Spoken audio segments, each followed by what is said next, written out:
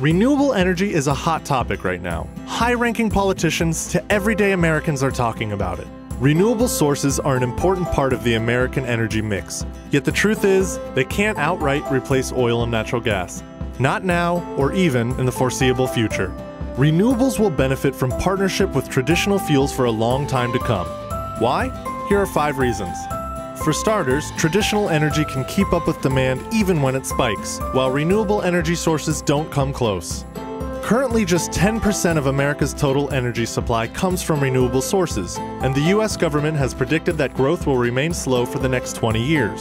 Secondly, traditional energy provides energy the minute we need it, in the amount we need it. Renewable sources like wind and solar power are intermittent and unpredictable, Solar power can't be created when the sun isn't shining, and wind turbines don't spin on a still day.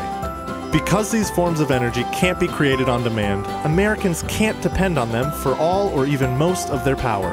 This is part of what makes natural gas and oil, which can generate energy when people need it, such good partners with episodic renewable energy sources. Third, oil and natural gas are reliable. Renewable sources like wind and solar are not. California, which is responsible for 14% of the nation's hydroelectric generating capacity, is in a severe drought. Low water levels have dropped hydroelectric production significantly in the last two years.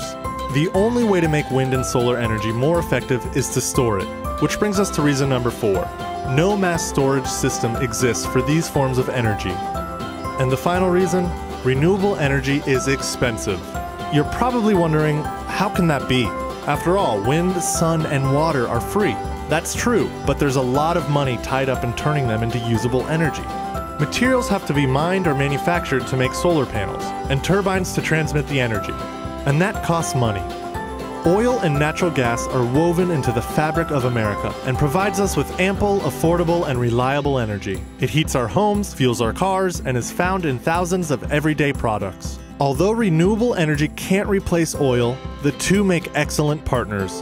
In fact, thanks to natural gas, the US has reduced its CO2 emissions by 2%. Oil, natural gas, and renewable energy are all working together to meet the growing energy demands of the nation.